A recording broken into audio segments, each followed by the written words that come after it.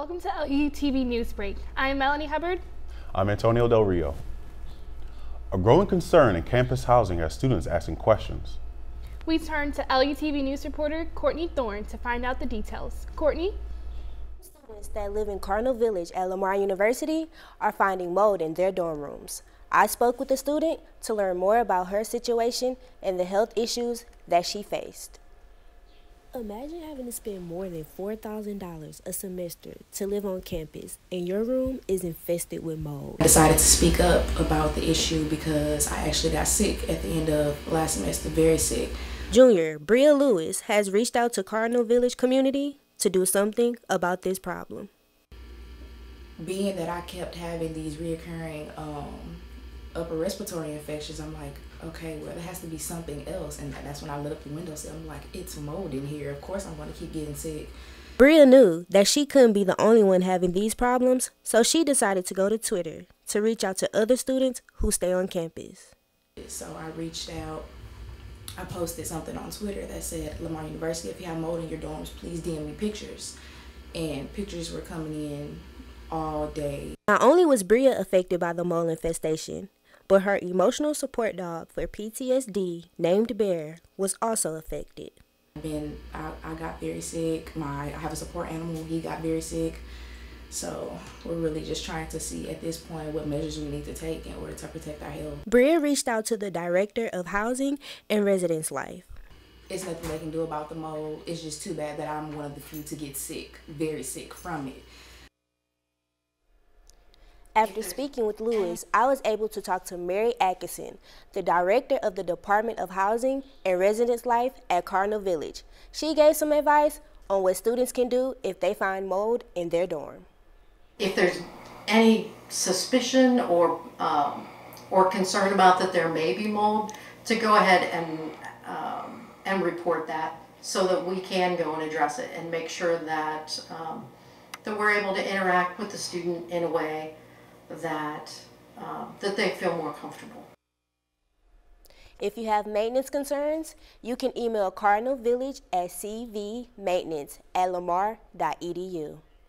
LUTV News will keep you updated on the latest on this news story. Now back to the desk. LifeShare Blood Center will be on campus from April 8th through April 11th. I had the chance to sit down with Nicole Murray from the LifeShares Blood Center to see how you too can share life basically the process of giving blood? How long does it usually take, and mm-hmm. what do they actually do? Okay, so if there's not a line, then of course uh, it takes about 30 minutes. I would say 20 or 30 minutes.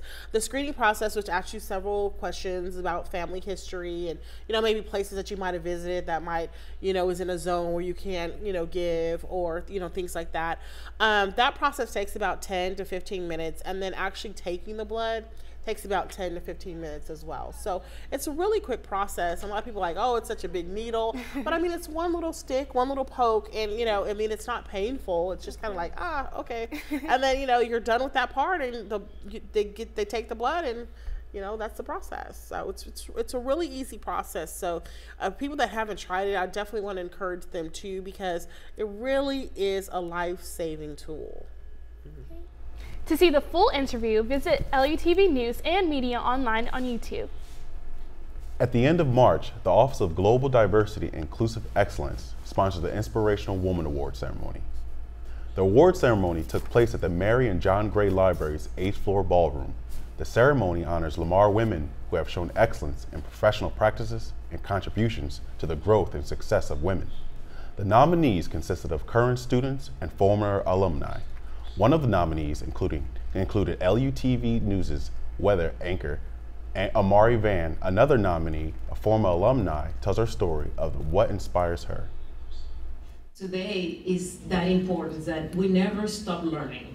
It's continuous every day. My inspiration, what I get inspired is not by anybody in the media or TV or nothing.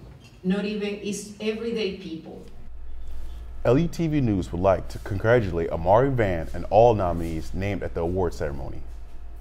The sunny weather was a warm welcome, but it looks like April showers is coming in soon. Well, Melanie, hopefully LUTV Weather's Kourtney Thorne can tell us that it's just an old song lyric. Kourtney? Welcome to LUTV Weather. I'm Kourtney Thorne with your seven day forecast for the week. It looks like we will be facing those April showers. Starting on Thursday, we have a 80% chance of rain with a high of 82 and a low of 65. Going into our weekend, the rain will continue. On Friday, we have a high of 80 and a low of 66. And on Saturday, we have a high of 77 and a low of 66. On Sunday and Monday, the rain will continue with a 50% chance of rain. On, on Sunday, we have a high of 79 and a low of 64. And on Monday, we have a high of 72 and a low of 60. Finally, on Tuesday, we will see some sun with a high of 70 and a low of 64. And on Wednesday, the sun will continue to come out with a high of 82 and a low of 63. So you're definitely going to want to stay dry this week with your umbrellas and raincoats. That's I'm Kourtney Thorne with LUTV Weather. Now back to you, Melanie and Antonia. Thank you for watching LUTV News Break. To see more content from LUTV News, follow us on Twitter and like us on Facebook and be sure to share. Be sure to join us next time for LUTV News, where your campus, community, and culture news comes together.